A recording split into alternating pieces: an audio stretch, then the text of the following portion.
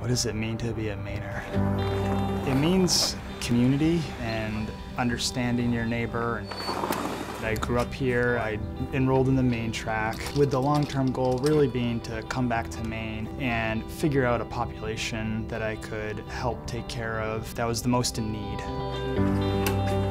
Preble Street Learning Collaborative is a shared initiative between Preble Street, which is one of the major social service organizations in Portland, and Maine Medical Center. We've really started to understand the importance of the social determinants of health here at the Learning Collaborative. Even though we're a very small group, we're on the cutting edge of, of some of the things that we're doing. There's a huge percentage of medicine that happens outside of the walls of any hospital or any clinic.